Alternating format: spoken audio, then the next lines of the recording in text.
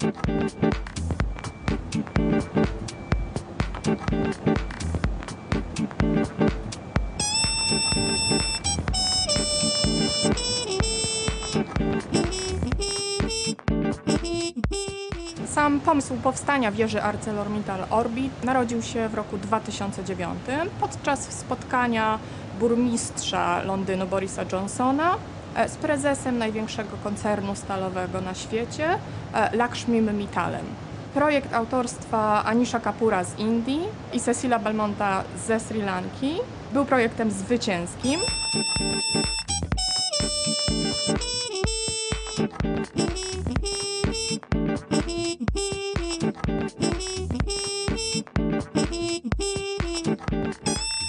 Wieża powstała w całości ze stali ArcelorMittal, w tym również ze stali wyprodukowanej w krakowskiej hucie.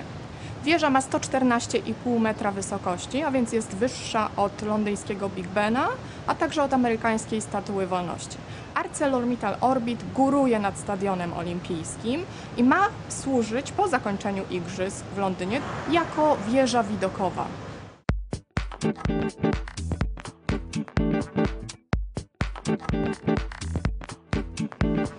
ArcelorMittal jest sponsorem Igrzysk Olimpijskich, dlatego też e, pięcioro pracowników polskich hut zostało wolontariuszami podczas olimpiady.